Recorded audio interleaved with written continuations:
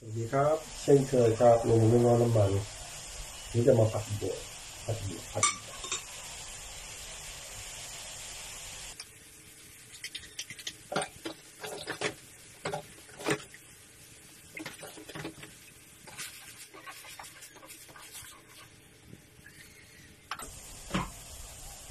ใส่อกไก่ลงไปอกไก่สับ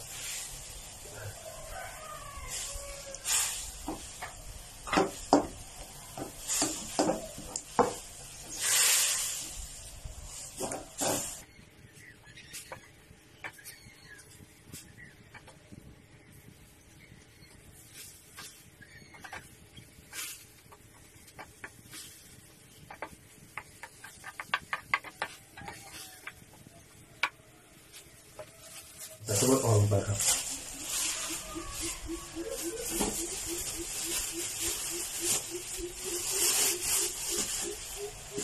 แล้วก็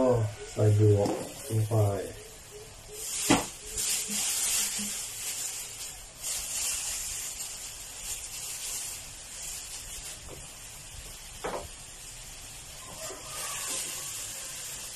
ให้สุก